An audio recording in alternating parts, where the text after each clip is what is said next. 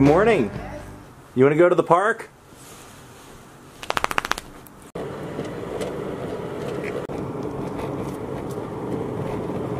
We are here. It's been a while. Feels like it's been a long while, right? Well, good morning, my friends. Your old pal Jordan the Lion. How are you today? Well, I hope you're doing great.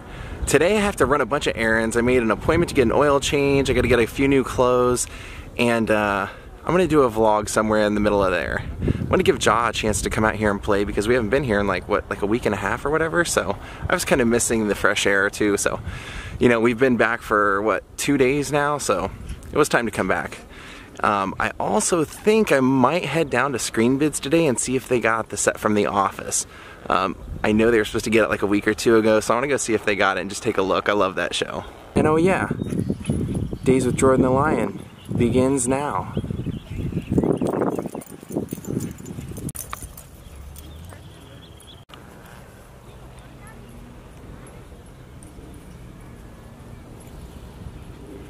You gonna wrestle?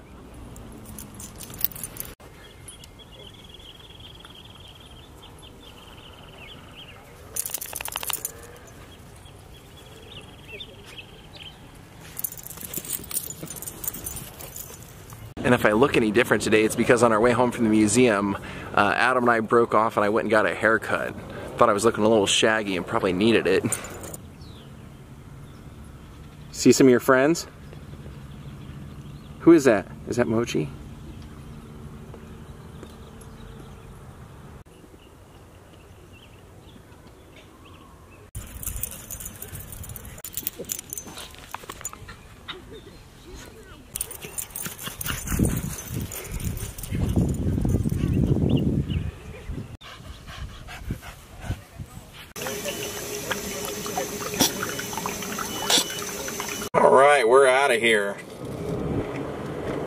Went to Amoeba last night with Adam the Woo and uh, saw something in there that was a real movie classic t-shirt that I've never seen anywhere else. I had to get it. I'll show you guys what I got. I got the shirt that Booger is wearing when he's standing out front of the Lambda house in Revenge of the Nerds. I had never seen it before. I couldn't believe it. And just as I'm picking it up, Adam the Woo, I hear him make a weird noise. I look over and he found an over-the-top shirt, so Alright, let's take a walk down to Screenbids and see if they got anything new. Well, this one's new. Hadn't seen this one before. Or that one. Those are great. Oh, it's because I think they're just now putting them up. Yep. Oh, fantastic timing. We got the scoop. crazy they still have that studio cafe sign up here. That place has been gone for 10, 15 years. Easily the worst place I've ever eaten, probably my entire life. And uh, one of the stories about it is that when the Beach Boys played their demo tape for Capitol Records up the street that they were apparently eating here waiting for the call. That was in one of the Beach Boys books that they waited at the studio cafe and called back like an hour later or something. Oh, here it is. I have a good feeling about this because I see so a few new things right here in the uh, entryway, so that's always a good sign. Like this. Those weren't here last time. Well, first things first, you notice all the Laurel and Hardy posters are gone, so there's some changes. They said the office stuff, they have acquired it, but they haven't set it up yet, so I'll have to come back for it. Looks like they sold uh, the bedding and everything from New Girl. The couch is still here. Huh. That's, uh, yeah, that's definitely one of Jess's outfits. So this is all stuff from the show. You can see, so if you're a New Girl fan and you're still hoping to come get something. Huh, when did they, uh, did they have Derrick Rose on the show? I'll look that up. I wonder if, if he was on the show and if that was his. Interesting. Let's check it out. Looks like a lot of this stuff is still the same. They haven't had the uh, Laurel and Hardy auction here yet, so all the cool stuff that we saw last time we were here. Still have all this stuff. And the Get Down, remember last time I was here, I said I, would never even heard of it and I never watched it. I went home and watched it and it, it was actually pretty good. I was kind of surprised that they canceled it, but that's the way it goes. Win some, you lose some. No explanations in Hollywood, you know what I mean? Oh, God. I wish I had the money and the space for this kind of stuff. That's from, uh, we found out last time, Boardwalk Empire. Oh, they got a lot of boots here all of a sudden. Oh, look at that. Yeah, they've changed a few things. That wasn't here last time. That fiery foot, that wasn't here. Cool. The Ty Cobb ball was here. Still never seen that show to know whether it's any good, but I've heard it's really good. There's the, uh, oh, so all of these, all these shoes have to be from the Get Down. And um, he wears a special, the red Pumas on the show. So that's the big deal. When I was here last time and I saw the red Pumas, I was like, I wonder what the big deal is with this. There's like a main character who's like the main graffiti artist and he's almost like treated like a Svengali a lot of the time. And he always wears the, the red Pumas with the white like this. I love all the stuff down here. Isn't that great? Rad. Okay, so this is what I was talking about. Shaolin is the name of that character on the Get Down, and so it says Hero Clydes for close-up. So that means that they use this pair for um, wrong size, but all but all we have. Yeah, so that means whenever they were doing close-ups, they kept this pair extra clean. He probably didn't even wear them, they just, or they had him put them on, or a foot model or somebody put them on just for the close-up shots. Pretty cool. And when on the box it said Clyde, that means because these are the Clyde Drexler models. You can see Clyde on there. Now you can see this pair, these are bigger, these are 12 and a half, and this pair was nine and a half. So these are probably ones he actually wore in the movie, and I, or the TV show, and I actually could wear those. These are cool, I do have to say. Simpsons Chucks, that's pretty cool. Never seen those. I know they're not my size, I can already tell they're too small, but see. Also, they were made probably for this 2013. So it looks like a lot of the main stuff over here is the same stuff. I'm guessing that is the, um, and that's hilarious that it is, that's the, uh, the cat climber or whatever, the cat toy from New Girl. Look, there's some of the, uh, this was on the set at one point. Jess and they were on vacation, so that was probably on one of the, um, and there's a picture of her with the Hot for Teacher mug. I want to see how much that mug is. That's pretty cool actually. Yeah, surprisingly it was a really funny show. I, like I said, I had a girlfriend that started watching it randomly on Netflix and made me watch it and I was like, yeah, this actually is pretty funny. So, well written. There's the Paul Blart. And I was just feeling that if, if you feel it, you can tell they specifically made that for the show because you could probably scratch those right off. Here's a picture of Nick and Jess and this is Nick's suit from the show, from that scene. Look at this insane jacket from the Mindy Project. That's crazy. And then this jacket's even like autographed. Wonder if they know that. Never could get into that show, so I, I didn't really follow it enough to care, but looks like that's a cast. That might even be Tim Allen. Was he a guest on that show? Looks like a cast signed jacket. Interesting.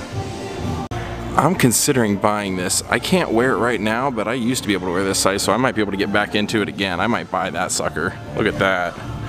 That's a freaking Gram Parsons nudie shirt. That's hilarious, that episode of uh, Parks and Rec when they were couldn't get Larry Birds, they had Tilda Bird. We can't really tell what this is from, but this is a, it's like a ponytail that's been cased in glass. Isn't that crazy? All this stuff is from the Mindy Project. This, like, she had a pretty crazy wardrobe pretty much always, so if you're looking for any of this stuff from the Mindy Project, you can find it all here, as you can tell. Jeez, like it just gets wilder and wilder. Then this is actually from the set, this stuff right here. And this, you can see this whole bag is Norman's outfit from Bates Motel. Check that out. Isn't that crazy? You can buy the whole wardrobe right there. That Charlie Chaplin ashtray is amazing. Take a look at that. You ash into there and it goes up that little crevice and it spits out of his, his where his little cigar would be so it actually makes him smoke too. That's hilarious. They said literally any day on the office stuff. They're pricing it as we speak. They said they got a ton of small things. Let's swing by the post office. I gotta mail something out. All right, Elvis, we're done. We got it all done. Let's get out of here. Just drop it here. Alright. There have been rumblings that there's something going on with Guns N' Roses, so I don't know what that is, but keep your eyes peeled soon. All right, let's head back. I gotta get to my oil change here soon. Meth zombies, that way. There's some pretty cool shops over here by where I get my uh, my oil change done. That's actually the reason I do it, so I can shop in those stores and stuff. So probably do some more vlogging over here. All right, the car's dropped off. I got about a half an hour. Now I almost always explore this area over here by Porto's and it's always like kind of vintage shops, thrift shops, like movie houses and things like that. So I'm gonna check out this strip because I don't know what's down here, but I do see a train store on the other side, so I might end up over there. I know there's kind of like a horror store over here somewhere, I just don't remember where. Moviola's behind us, which reminds me of a band named Moviola. And then there's a Target over here, so we're definitely not going to Target. We want something a little bit more interesting than Target. See, I'm thinking right there, the train shack. I think that's where we want to go, right? Oh, this is pretty rad. Here's a mural to Bob's Big Boys Friday Night Cruising Night. A lot of people kind of know it because of Jay Leno making it famous, but for a long, long time, years, years, years and years, Bob's Big Boy over there in Toluca Lake that we we've gone to a couple of times. Every Friday night, I think they still do it. They used to have all these classic cars come and uh, park in the car hop spots. Safari Inn, we've been there. We vlogged that.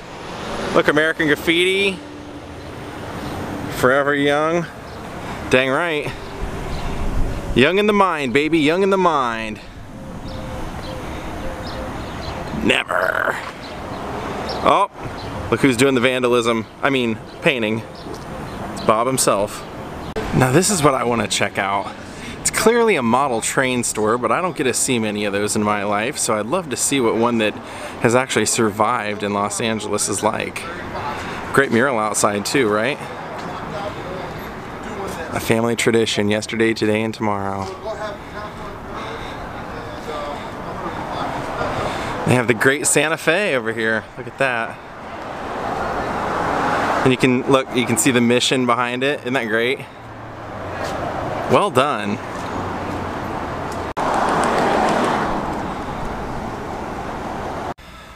Well, check this out. The first thing I saw when I came in, other than just this great train track that you could watch, I mean, they have it all set up. But remember when we were in Sweden and I was pointing out Brio and I was going, I was asking um,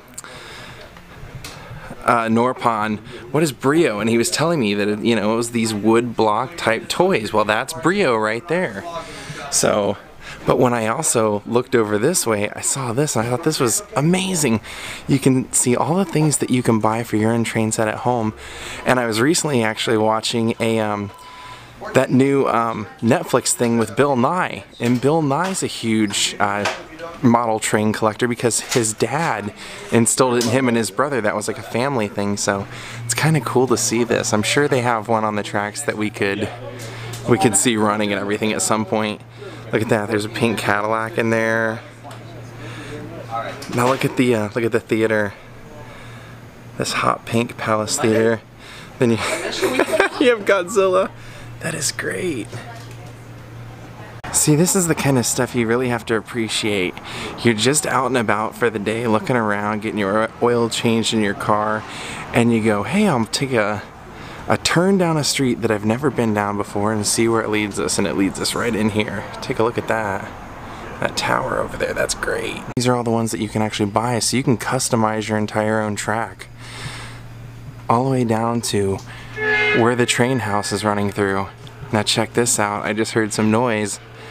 They just kicked it into gear for us. Look at this.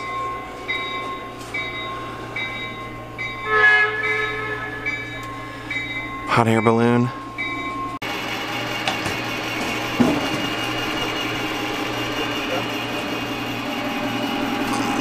Look, King Kong.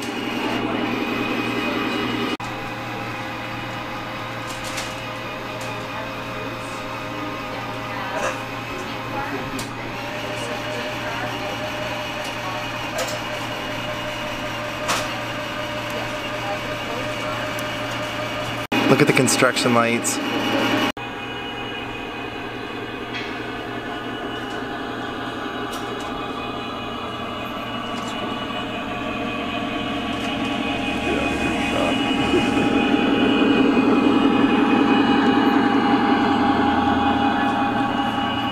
Can you see the steam?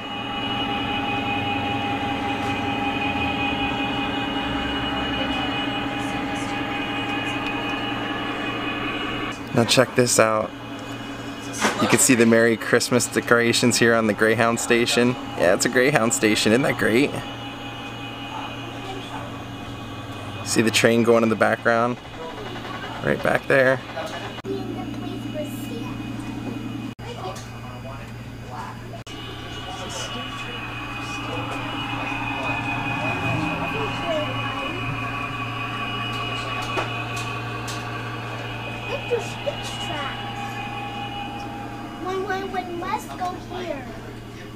Over here you can see most everything that they've built this little world out of is right here. There's the theater I was showing you, the Hot Pink Palace Theater. You can have your own here. buy Merry Christmas right there. You can get your people from the Polar Express here. Set up your own scenes. Look at this little scene. We have a bit of a catastrophe here. People in this shop couldn't be nicer. As soon as they saw I was filming and everything, I told them what I was going to do. I, I, well, I asked, I said, do you mind if I vlog this and show everybody? And they came over here and turned the train on for me.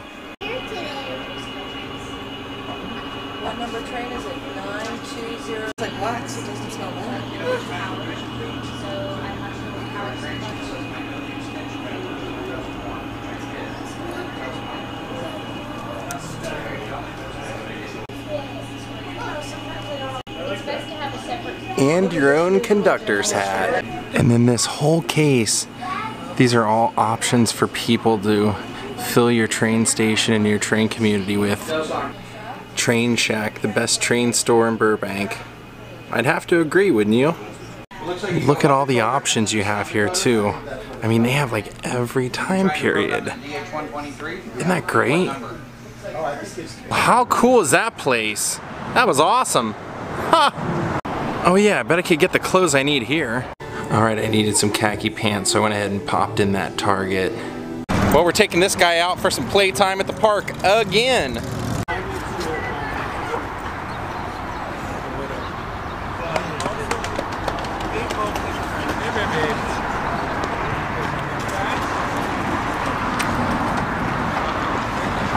He's surveying the situation. Go get somebody.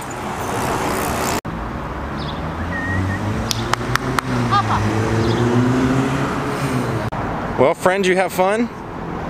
You're trying to eat other people's dinner. I saw that. I caught you. Standing on their tables, waiting for them to open it up.